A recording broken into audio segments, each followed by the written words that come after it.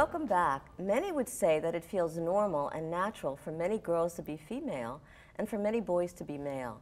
But that's not true for everyone. And that's why it's so important for parents of transgender children to know what to say and what to do when a child is looking to embrace his or her true identity. Debbie Mancini, aka Mama Deb, and Eve Mancini have been through this journey and still are, and are here with us today and to tell us and to share with us their story. Welcome, Eve, and welcome, Debbie. Thank How you. are you both? Hello. Good. All right. Good. Eve, you just came out to your mom recently. What, what was that like? Were you afraid? Uh, not really. I mean, it was her, so wasn't anything to be scared of. So you knew that she was going to be accepting of it, right? Yeah. Okay. And what about when you came out to your friends and to your brother? Um, pretty much the same story with my friends. Uh, my brother, I worried about a little bit, but then I realized that he didn't care about much of anything as far as that goes. So I just kind of told him it was fine. So you're lucky because you have people around you who, who already knew you, respected you, and just knew you when you were first Josh to Eve and just took that with their stride. Yeah. Did you have cha- a challenge with that? I mean, there you are. Josh has been Josh for 20 something years, and then suddenly, or 19, and then suddenly she comes out as Eve. What, ha- what, what did you? What was your response, and, and what, how did you feel? Well, I had known for a little while that something was going on with Josh and kept asking, you know, what is, or is everything okay? Yes, everything's fine. Um, about a, a little while of that going, going on, and I said, you know, I'm here for whatever it is, I'm here when you're ready. And finally, one day, when Josh came home from school, Josh chose that moment to come out to me. And my very first reaction was, You know that I love you for who you are, not what you are. And then I said, I have a million questions running through my head right now, and I want answers to all of them.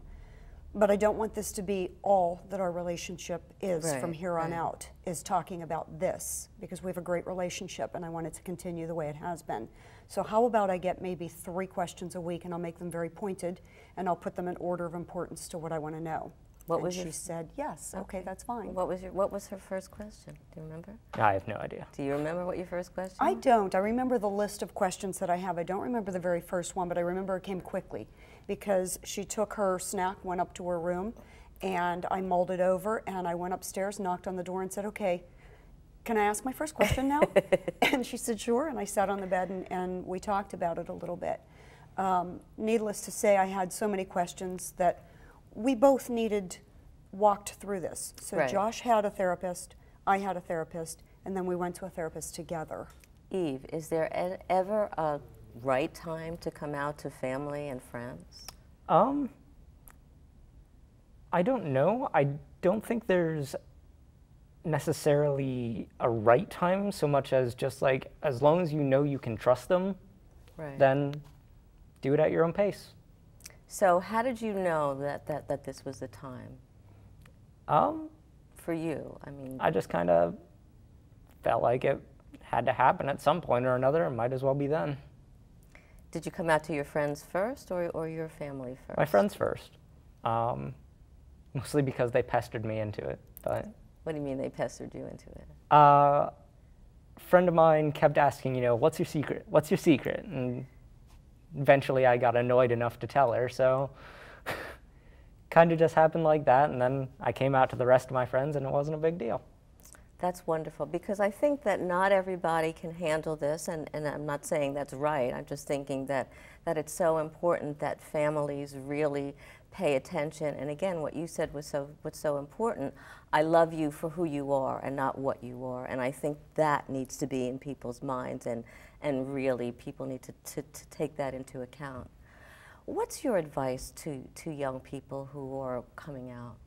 Um, I guess my first thing would be to always, always find people who are comfortable with you and who are going to treat you with respect. Um, whether it be, you know, a group or your friends or your family, whoever it is, you know, find people you're comfortable with uh, and who are comfortable with you. And um, other than that, I'm always a big advocate for educating yourself. So learn as much as you can about it. And you know there are lots of new shows now about transgender, and so so there's education right there too. Have you been watching any of these shows or familiar with any of these shows? I haven't. You've been busy in school. what about you? Have you? I, I've watched a little bit of them. Obviously, um, not only from a personal point of view, but from Dear Mama Deb's point of view, I'm Right. helping a lot of parents walk through this journey as well. I'm The glad to hear that. I really am. That's important. Thank you, thank you. The main goal for me is to just help parents understand that your job has not changed.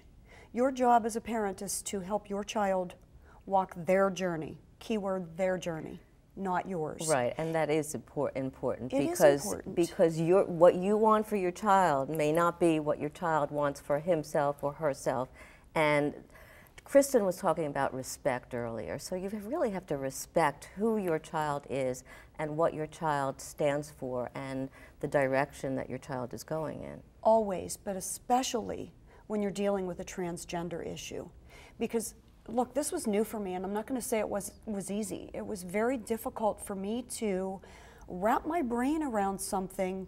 I don't understand it. I'm not a transgender. I don't understand Right. it. But I understand my child. I love my child. I know that this is one of the best people I've ever known. That has never changed. It's not going to either. That's wonderful. And again, I think it's so important what you're doing and that you are very courageous, both of you. It's not an easy journey to walk, but you're doing it with love and support and thank you, really thank you both for being here. Thank you, Jo Anne, for s- Thanks. Shining a light on this. Thanks. I think it's important. It is. Still ahead, you'll meet one person who has taken her transgender journey to the stage to share her story with the world So many when wrong Power Your. Life returns in just a moment. Too moment. short, acid washed denim skirt, the metallic blouse, the too high heels, the unfortunate overly curly wig. But it all feels so right, all the way into the May Company, until a snarl of teenagers spots me and comes to a halt.